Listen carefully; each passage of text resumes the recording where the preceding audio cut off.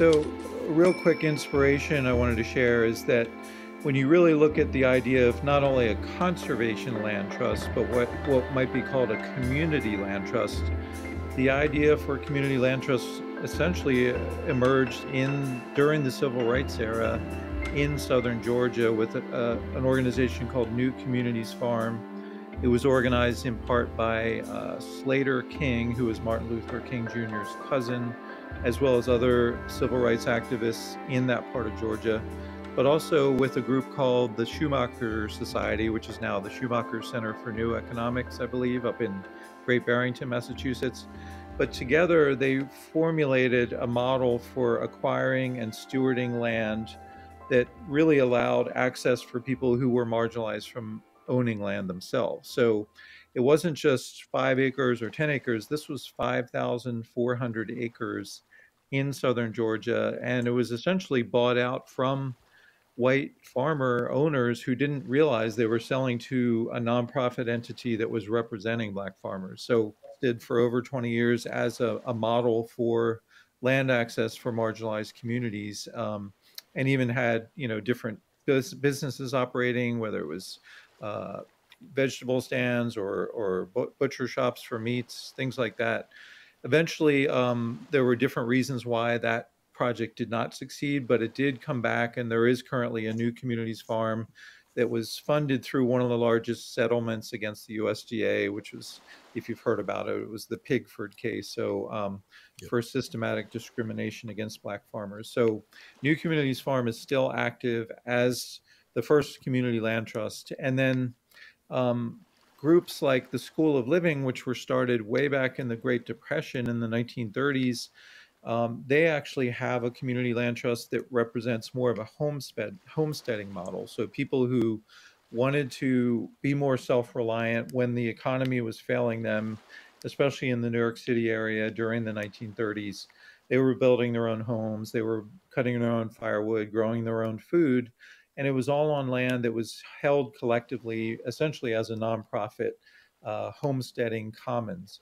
And to this day, the School of Living is still active in Pennsylvania, New, uh, Maryland, and Virginia with over 600 acres of what you may, might call homesteading communities that are held as a community land trust. Um, and so they were actually our um, fiscal sponsor when we started in 2019 without having the federal 501c3 status. School of Living was generous enough to serve as our umbrella organization during those startup years. And then finally, if you look at places like Madison, Wisconsin, there's some really wonderful models of using a community land trust, which often is more for affordable housing because the affordability piece comes when a community land trust owns land, especially in a gentrifying area, and then offers people the, the ability to buy their own home but having it separated from the value of the land, which is often driving the high price. So these are um, affordable homes built in a community outside of Madison, Wisconsin, or right on the edge of town, not only with community garden plots, not only with uh, a restored prairie, but also a community farm that produces food for that area. So, really interesting example of how nonprofits can do much more than just save land and much more than just provide affordable housing. They can really provide some of these things together.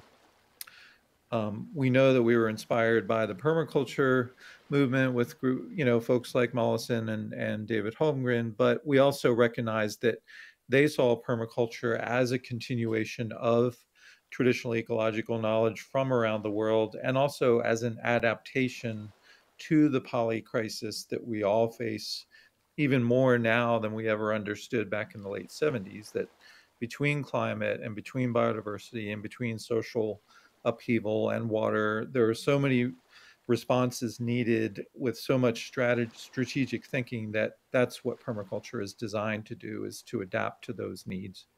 Um, i did mention the farm outside of minneapolis. Um, so this is really you know how that all came together real quickly is it really was a permaculture design uh, that had been put in place on a beautiful lakefront farm. And when that landowner was uh, had eventually made a decision. She uh, she she decided to gift the land, but that same land could have been sold and developed into lakefront houses. So it was a a highly um, well thought through decision that she didn't want to see her legacy just become houses.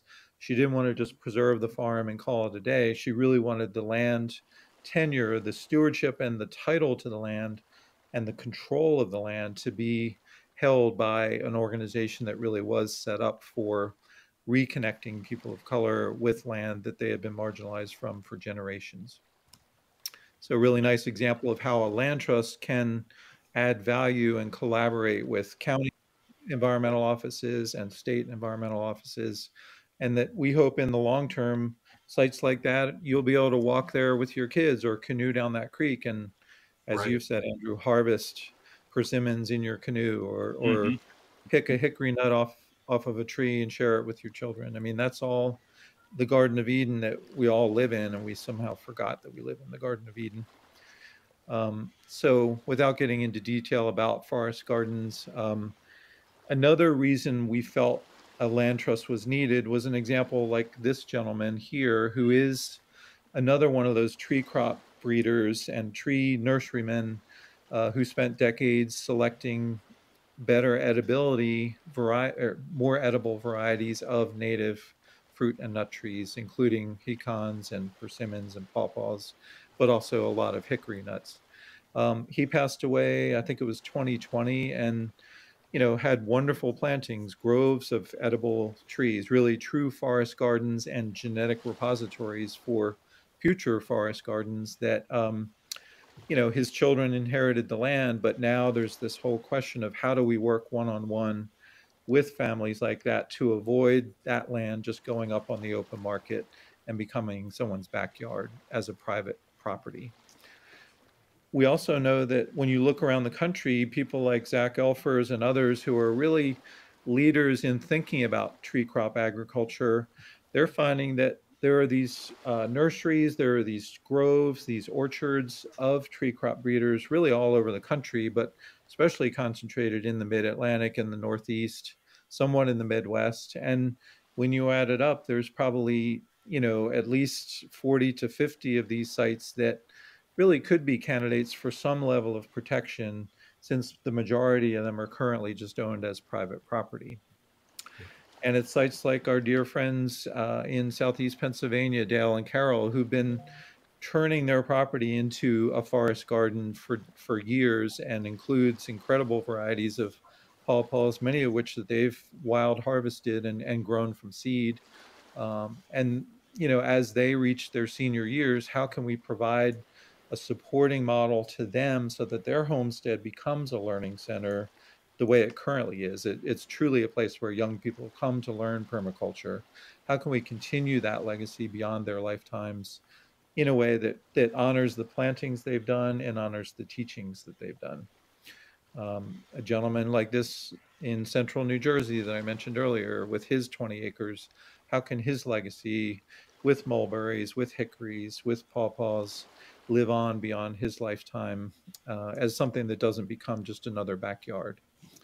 And, this is the guy that was the same gentleman you were saying will be able to live on the land and still be able to maintain site control, yeah, right. so to speak. But he has the assurance that when he does indeed pass away, that the land itself remains toward his vision. That's yep. that's exactly it. And yep. Frankly, Jesse, I mean, I've worked for land trusts for decades, including right in this area of the Philadelphia region.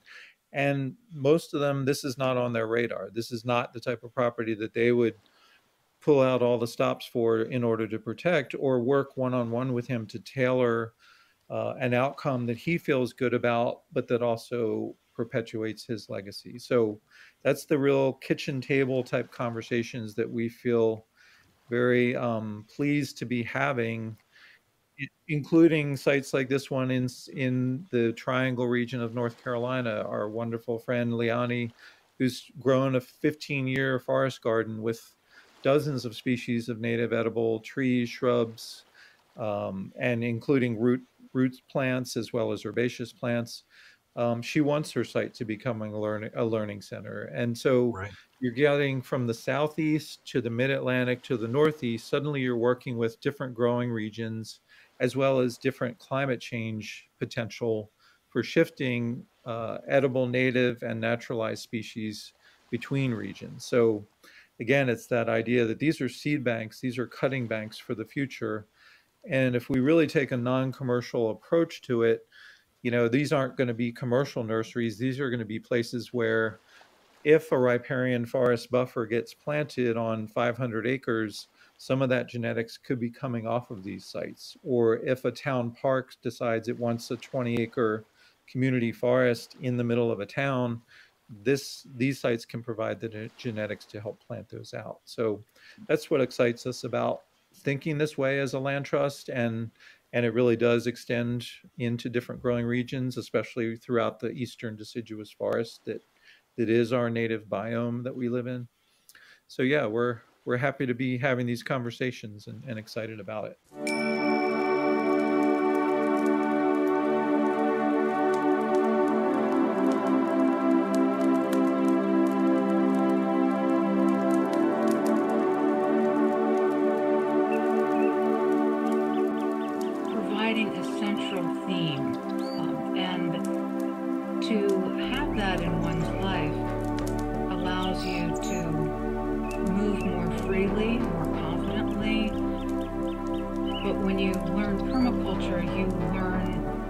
The, the how and the why and what's behind that.